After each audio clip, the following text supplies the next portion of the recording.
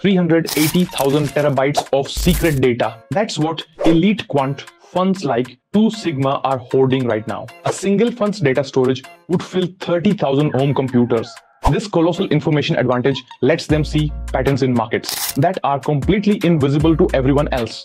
We're witnessing history's greatest data arms race. Top quants tap into over 10,000 different data sources, from satellite imagery to credit card transactions to mobile location data. They're collecting every data point on Earth that could possibly reveal hidden trading edges. While retail traders look at simple price charts, these funds process petabytes of alternative data daily. The scale is mind-blowing. Two Sigma alone employs over 400 PhDs just to manage and analyze their 380 plus petabyte data lake. They track billions of consumer transactions, monitor global shipping movements by the second, and use machine learning to extract trading signals from sources no human could possibly process manually. This data infrastructure costs hundreds of millions annually just to maintain. Building these systems requires bleeding edge technology, custom built data centers with specialized processors just for AI workloads, proprietary data pipelines that ingest and clean terabytes hourly, advanced natural language processing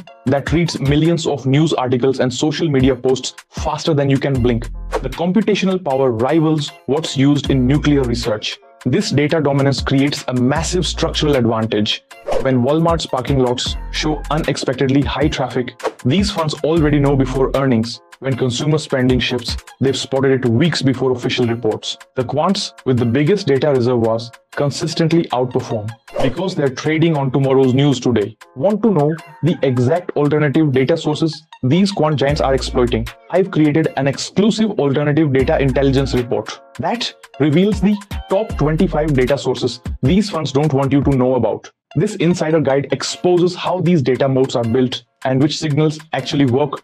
Just comment petabyte below right now and I'll send the download link to your inbox within 9 seconds.